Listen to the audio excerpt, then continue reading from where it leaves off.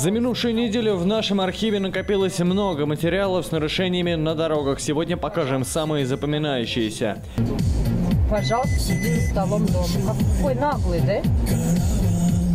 Первое видео прислал наш телезритель Виталий. Мужчина просит инспекторов разобраться с наглым водителем на Lexus ES350. Белая иномарка проезжает переезд в поселке Зоринский не по правилам.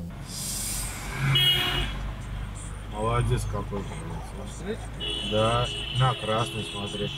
По встречке на красный и тонированный так описал действие и машину автохама наш помощник Патрик. Саратовец снял белый Ceed, за рулем которого нарушитель. Его-то и просит очевидца оштрафовать.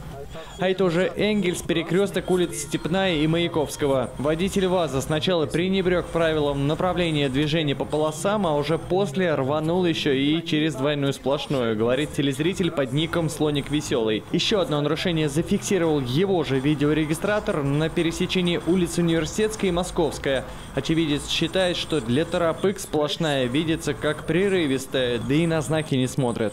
Жители домов на Гвардейской просят очевидцев поделиться видео, где, по их словам, произошло ДТП. Несколько человек видели, как фургон Белава ударил иномарку, сдавая назад, и водитель попросту скрылся с места.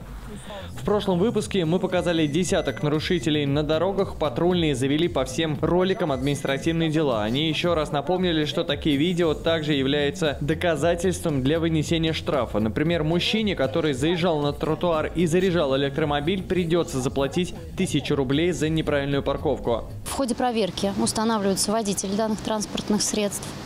И в отношении них а, составляются материалы административные, в ходе которых выносятся решения, либо штрафы, либо, если другие статьи предусматривают, либо аресты, либо лишение права управления транспортных средств. По новым видеороликам автоинспекторы завели административные дела, так что спасибо всем телезрителям. Если вы стали свидетелями хамства на дорогах Саратовой области, присылайте видео на электронный адрес редакции. Он на ваших экранах. Давайте бороться с автохамами вместе.